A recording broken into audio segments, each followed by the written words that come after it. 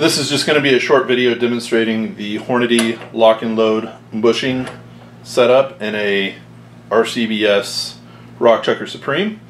Uh, one of the nice things about this bushing is that it does allow a little bit of float in the mechanism so that you get more concentricity in your cartridges, uh, especially the case mouths when you are uh, sizing brass or if you are loading bullets um, because it does allow for a little bit of float. As you can see, there's a little bit of a little bit of give in there, um, and that is because of the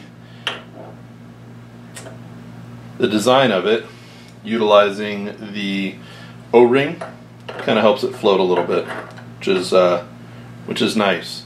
So as I pull the handle here, you're going to notice that the die will actually float ever so slightly and you can't really see it until I bring the case off.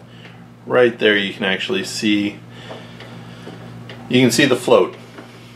And what that is doing is it's allowing the die to self-center on the actual cartridge or on the case that you're resizing which is nice because you end up with more concent concentricity in your loaded ammo.